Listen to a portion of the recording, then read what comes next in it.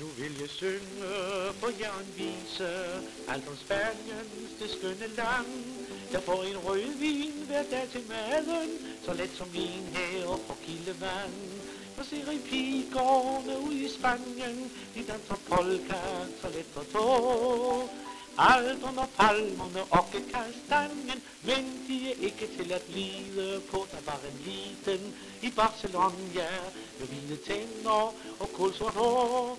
Hun vartede op i en bar ved havnen og var som hen ved en 18 år. For ser Pigårdene pigerne ude i Spanien, de danser polka så let på tog. Alderen og palmerne og kastanjen, men de er ikke til at lide på. Hun smilte til mig, hver gang jeg kom der, og fik en brandy og sodavand. Og i mit hjerte, en elsker smerte, straks tændtes op til en lille brand.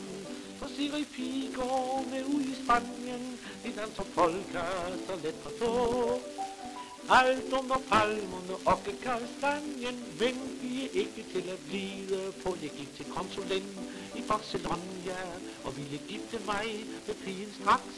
Han svarte far, det skal du ikke, for her er pigerne så mange slags.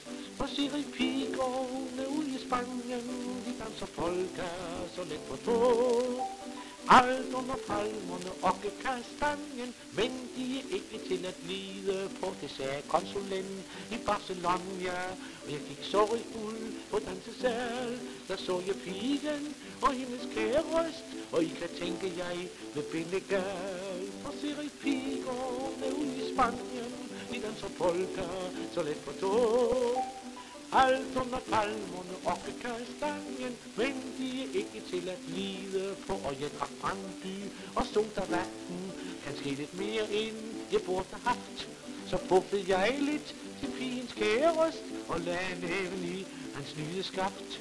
Og siger I pigerne ude i Spanien, de danser polka så let på tog.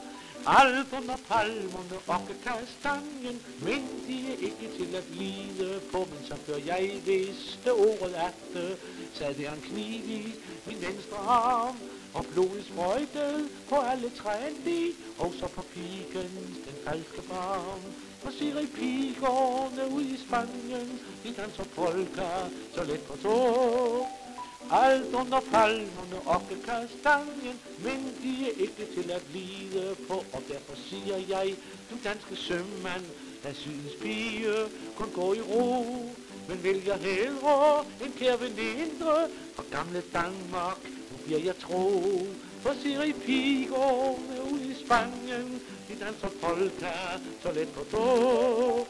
Alt under palmerne og kastanjen, men de er ikke til at vide på.